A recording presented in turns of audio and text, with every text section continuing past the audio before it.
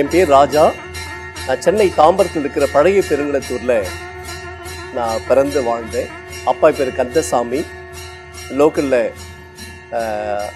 ஆலயங்களில் ஒரு தர்மகர்த்தாவாக பணியாற்றி இருக்கிறாங்க.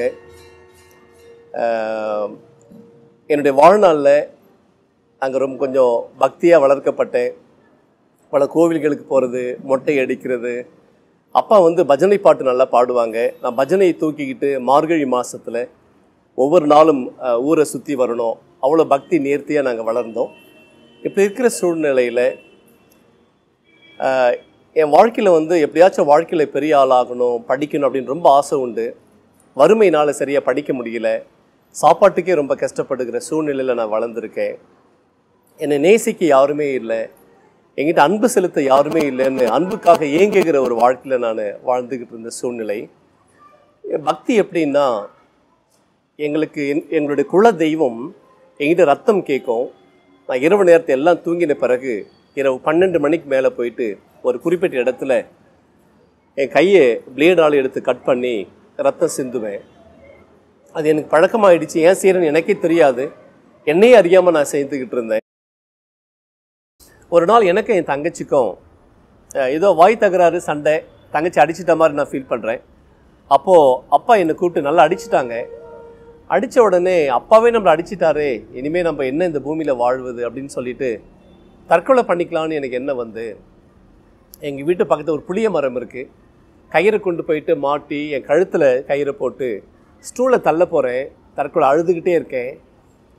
ஸ்டூலை தள்ளுறதுக்கு கொஞ்சம் முன்னாடி என்னோட அக்கா தெய்வீகா அவங்க பேர் ராஜான்னு கூப்பிட்டாங்க.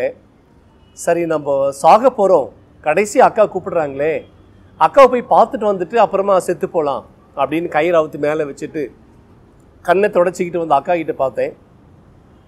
அக்கா அக்கா என்னை பார்த்து கேட்டாங்க உன்னை ரொம்ப நேரமாக தேடுறேன்டா. உனக்கு ஒரு லட்டு வச்சிருக்கேன் சாப்பிட்றான்னு கொடுத்தாங்க. சாப்பிட்ட உடனே கொஞ்ச நேரம் டிலே ஆன உடனே நம்ம ஏன் சாகணுங்கிற எண்ணம் எனக்கு வந்துச்சு. சாகக்கூடாதுன்ற முடிவு எடுத்துட்டேன் அந்த கயிறு அவுத்துட்டு யாருக்கும் தெரியாமல் அவளுக்கு போகும்பொழுது அந்த தற்கொலை ஆவி என்னை கூப்பிடுது. வந்து தற்கொலை பண்ணிக்க. உன் பிரச்சனைக்கு ஒரே தீர்வு நீ செத்து போகிறது மட்டும்தான். பாரு உங்கள் அப்பா உன்னை அடிச்சிட்டாங்க. இந்த உலகத்தில் உன்னை நேசிக்க யாருமே இல்லை. நீ எதையுமே சரியாக செய்ய முடியலன்னு அந்த தற்கொலை ஆவி அசுத்த ஆவி என்கிட்ட பேச ஆரம்பிச்சது.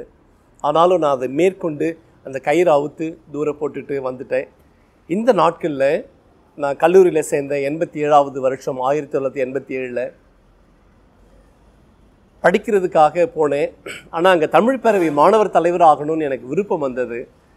காலேஜ் எலெக்ஷனில் நேமை நாமினேட் பண்ணிவிட்டு அதை ஃபாலோவிங் சண்டே தாம்பரத்தில் உள்ள லுத்ரன் திருச்சபைக்கு நண்பரோட ஜார்ஜ் என்கிற ஃப்ரெண்டு என்னை கூட்டிகிட்டு போனார்.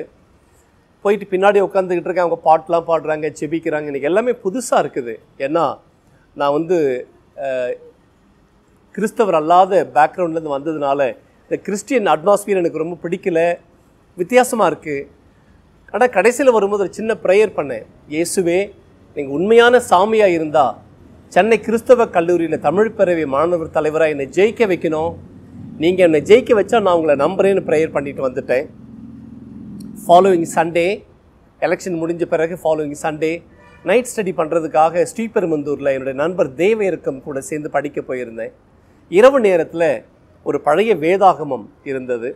அது எனக்குள்ளே ஏதோ ஒரு விருப்பம் வந்து எனக்குள்ள தூண்டுதல் ஏற்படுது. பைபிளை திறந்து படி. நான் சொல்கிறேன் நான் வந்து ஒரு நான் கிறிஸ்டியன் கிடையாது கிறிஸ்தவன் கிடையாது அதனால் படிக்க முடியாது. இரண்டாவது முறை அதே எண்ணம். ரொம்ப ஆழமாக எனக்கு ஏற்படுது. படிக்கலை.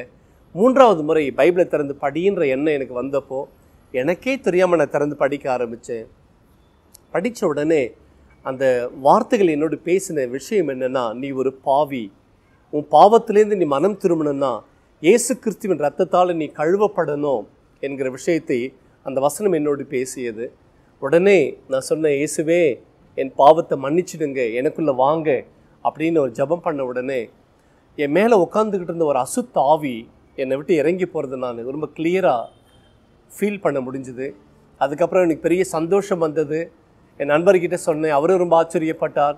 அடுத்த நாள் எக்ஸாமினேஷன் முடிஞ்ச உடனே தேர்வு முடிஞ்ச உடனே அப்பா கிட்ட வந்து சொன்னேன் அப்பா பேர் கந்தசாமி இல்லையா?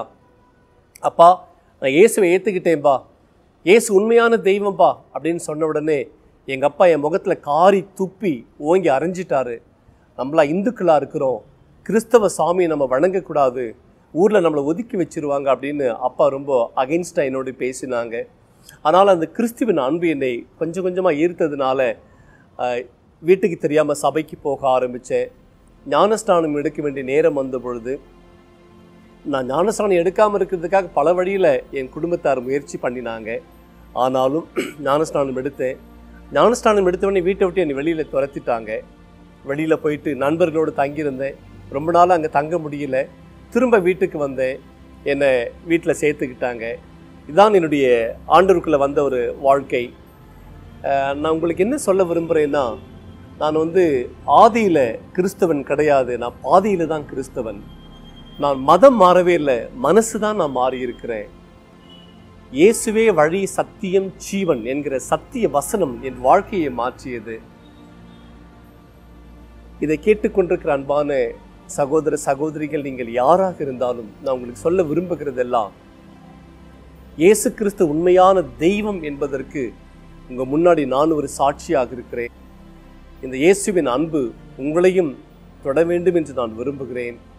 இயேசு எனக்காக சிலுவையில் மறித்தார் நான் செய்த பாவங்களுக்காக நான் செய்த துரோகங்களுக்காக அக்கிரமங்களுக்காக இயேசு கிறிஸ்து தன் சொந்த இரத்தத்தை சிந்தி விளைக்கிறையும் செலுத்தினார். அதை நான் மனப்பூர்வமாக நம்புகிறேன்.